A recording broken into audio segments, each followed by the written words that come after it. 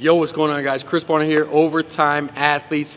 I get a common question from a lot of you baseball players, and that's how to throw faster and farther. So if you're a pitcher uh, and you want to get more velo velocity on your actual uh, on your actual pitch, or if you're an outfielder and want to be able to uh, you know, I mean, put it right at home plate without one hopping it. Um, essentially, there's a couple things that I focused in on that have been very successful with the uh, the pro baseball players that I've recently been working with, where we were able to in one off season. Uh, I mean, these are guys that play at the highest level, and through the weight training, we were able to uh, increase their velocity on their throw and actually throw farther with more efficiency. But not only that, it actually transfers over to them hitting with more velocity, which obviously equates to hitting further. So um, one thing that you need to understand as a baseball player is if you're obviously, you know, you know, unless you're ambidextrous, you're you're throwing from one side over and over again, right? So if I'm righty, I'm consistently throwing, throwing, throwing on this side.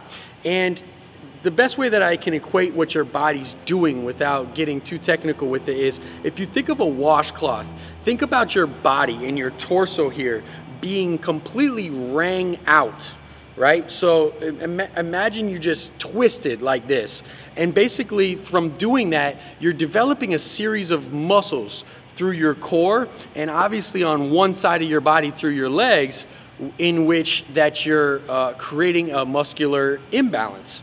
Um, and why this is important is, and, and what we're trying to do is basically unring you by focusing on movements that are the opposite. So if I'm throwing uh, righty all day, a lot of times what I started off with in the base phase with the, with the athletes, the baseball players, was I started doing the opposite work. And I really focused on structured, perfect form, heavy uh, things such as wood chops or uh, things such as uh, Russian twists, just things that are going to activate and be able to pull your body back into balance. And by doing this, you're able to create more of a whip with the body if it's more balanced as opposed to it being tight to one side because those muscles are so developed.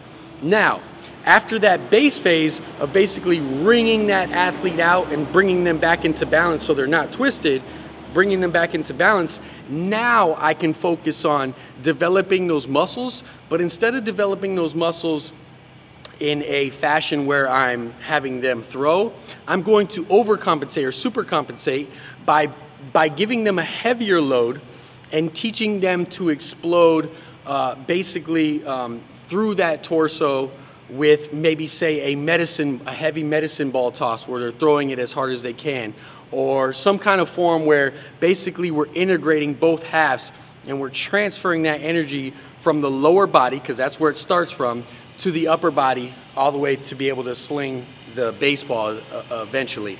Um, a couple other things that I work on.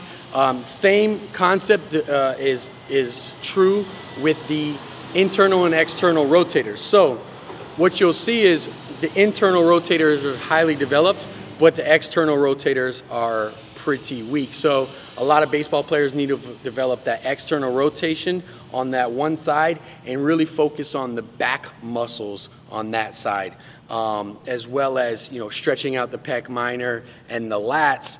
Uh, in addition, what I'll do is a lot of, as I mentioned before, a lot of integrated movement. So when I talk about integrated movement, I'm talking about being able to produce power from the lower body, right? So I want to be able to produce power from the lower body and the leg to be able to transfer efficiently that energy up to the upper body to be able to throw. So what I'm going to do is I'll do maybe some form of uh, some form of lunges with a twist, right? So we're working and we're activating the same muscles. It's not the exact same movement, but we're we're training the same muscles, right? And then we're being able to perform that in a uh, uncompromised position where we're actually focusing on strength. So really, there's three things. Like I said, first of all, I'll start off unring yourself out and be able to balance out that body. Two, we want to be able to produce power and throw with power, overcompensating basically with a heavier load or heavier resistance, if you will, and exploding, basically performing the same rotational movement that you're going to on that same side. Make sure that you're balancing and doing it on both sides.